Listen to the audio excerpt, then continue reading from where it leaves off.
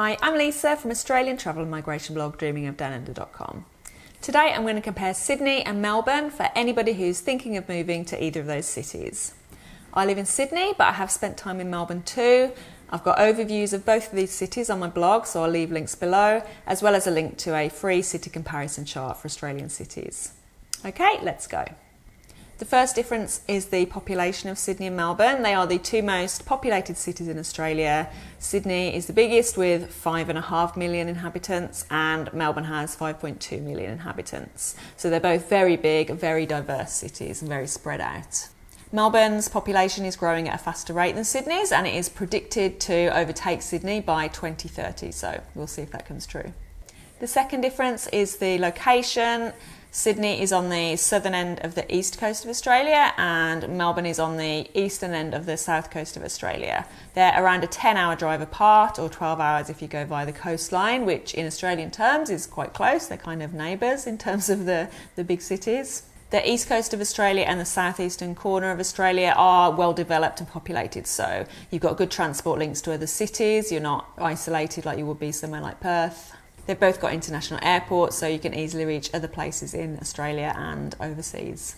Difference number three is the weather. Sydney and Melbourne do have different climates. Sydney is generally a little bit warmer than Melbourne, but people say Melbourne's got a similar climate to Britain. It's definitely, definitely warmer than Britain and it reaches some hotter temperatures. In the summertime, Sydney and Melbourne have an average temperature of around 26 degrees in the daytime, but at night, Sydney falls to about 18 degrees, whereas Melbourne drops to about 14, so a little bit colder than Sydney overnight in the summer.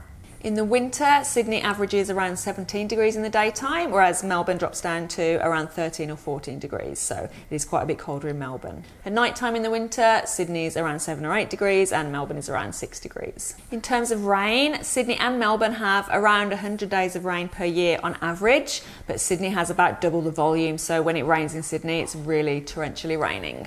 Sydney has around 100 days of sunshine a year, and Melbourne only has about 48 days of sunshine a year. So Sydney is significantly more sunny than Melbourne. Melbourne has a lot more cloudy days, even though the rain is lighter there.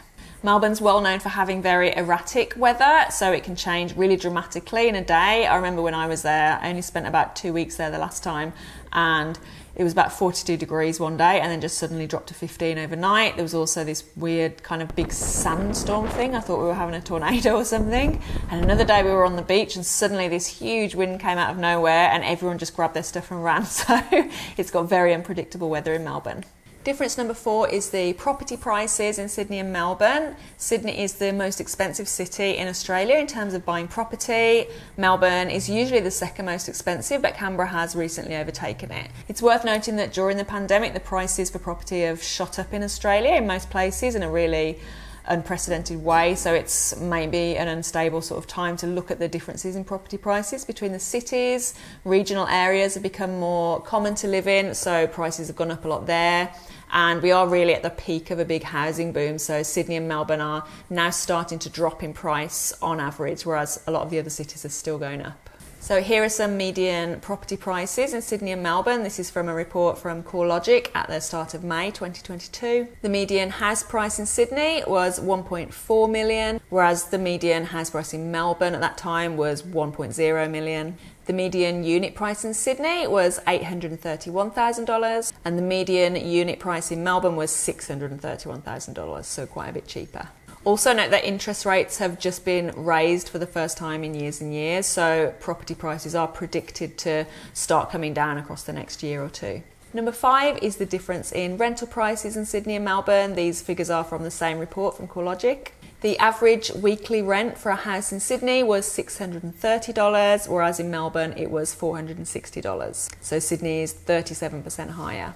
The average weekly rent on a unit or flat in Sydney was $510, whereas in Melbourne it was $420. So that's 21% higher in Sydney. Difference number six is the beaches in Sydney and Melbourne. They are both coastal cities and they both have beaches. Sydney is very well known for having lots and lots of lovely beaches. It's got over 100 beaches. It's got beaches inside bays, along the coastlines. It's got yeah, lots of beautiful scenery. Melbourne has beaches, but it's not so famous for its beaches. A lot of Melbourne's coastline is around Port Phillip Bay. So you've got Brighton Beach, that's well known for its colourful huts. and you've got St Kilda Beach, which is probably the most well known, I think. I went to a nice one called Black Rock as well. You've also got the Mornington Peninsula if you travel a little bit further. I personally think Sydney definitely beats Melbourne in terms of how nice the beaches are, but I guess that's up to every individual. Difference number seven is the nightlife and city attractions. I think I have to say that Melbourne definitely wins this one. Melbourne is probably best known for its amazing nightlife and culture and art scene. It's got lots and lots of cafes. It's very, very fashion focused. It's definitely a more kind of fashion conscious city than Sydney, I would say. I remember arriving in Melbourne the last time in my backpacker shorts and t-shirts and feeling immediately boring and uncalling what I was wearing. So Sydney does have lots of nightlife and theatres and arts and things like that, but it's better known for its scenery and beautiful harbour and beaches. So I would say Melbourne is a more kind of cool, edgy, fashionable city with more city attractions, and Sydney is more of a pretty, kind of glam, outdoorsy city with more natural attractions. Remember, this is just based on my observation and my experiences, and somebody else might have a, a totally different viewpoint to me. Also, remember that both of these cities are huge and they span inland for miles and miles. So, if you're coming as a visitor, or maybe you're going to live here for a year and you're quite young and you want to live in the city, then things like city attractions and beaches might be important. But to a lot of people, if you're coming here with a family and you want to buy a family home, you're probably more likely to be just in an ordinary family suburb inland. So, in that case, there might not be that much difference between the two cities for you. If you are coming here and you want to buy a family home, if you're coming permanently, it's probably worth looking into Perth and Adelaide and Brisbane as well because the property there is significantly cheaper than Sydney and Melbourne. Difference number eight is the nearby holiday destinations. Both Sydney and Melbourne are on beautiful parts of the coastline and they're really surrounded with amazing places to go inland and on the coastline for weekends away or holidays. Both cities have international airports, so you can easily go abroad. And being sort of across on the eastern side of Australia, you've got loads of choice in places that you can drive or fly to. So if you want to nip up to Queensland for a, a winter getaway in the sun, that's really easy from either city. Here are some ideas of trips you can take from Sydney or Melbourne. So from Sydney, a couple of hours inland, you've got the Blue Mountains, which is absolutely beautiful. You've also got the Southern Highlands just to the southeast. From Melbourne, you can get to the Grampians mountain ranges in three hours, and you've also got the Dandenong ranges a bit more close. In terms of beach destinations, from Sydney, you can nip up to the Central Coast within an hour and a half. That's got lots of beaches and national parks.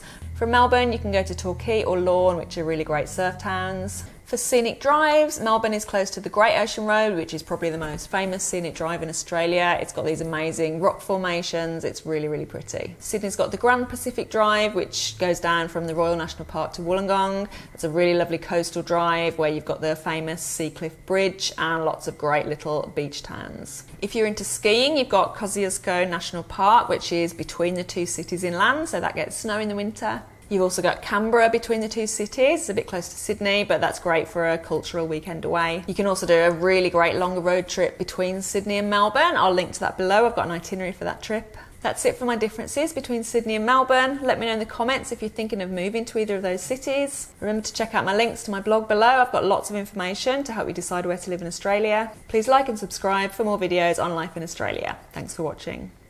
From Melbourne, you can get to Lorne or to from Melbourne, you can get to Sydney or look. Oh my god. From Mel.